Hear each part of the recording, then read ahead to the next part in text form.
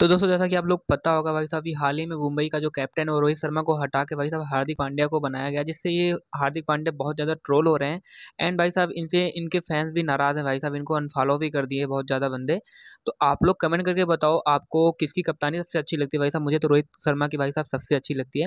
यहाँ पर मैं बात करूँ भाई साहब, एक तरीके से इनको इनके फैंस जो है भाई साहब ट्रोल करके इनको छफरी कह रहे हैं।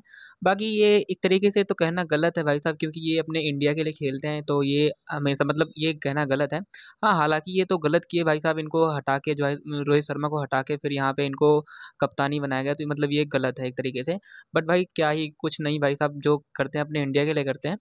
और मैं यहाँ पे बात करूँ भाई साहब, अगर इनकी एज की तो फिर भाई साहब Hardik Pandya thirty, thirteen year के हैं, और फिर यहाँ पे रोहित रोहित शर्मा जो है भाई साहब छत्तीस साल के हैं। तो आप लोग कमेंट करके बताओ आपको कौन सबसे ज़्यादा अच्छा लगता है भाई साहब। मुझे तो यहाँ पे अगर मैं बात करूँ, खेलने में तो भाई साहब दोनों अच्छे हैं बट रोहित शर्मा यहाँ पे बहुत ज़्यादा अच्छे हैं। आप लोग कमेंट करके बताओ आपको सबसे ज़्यादा अच्छा प्लेयर कौन सा लगता है, कौन सा लगता है मतलब अभी इस टाइम पर मुझे वैसा विराट कोहली और फिर यहाँ पर रोहित शर्मा, ये दोनों काफ़ी अच्छे प्लेयर रखते हैं।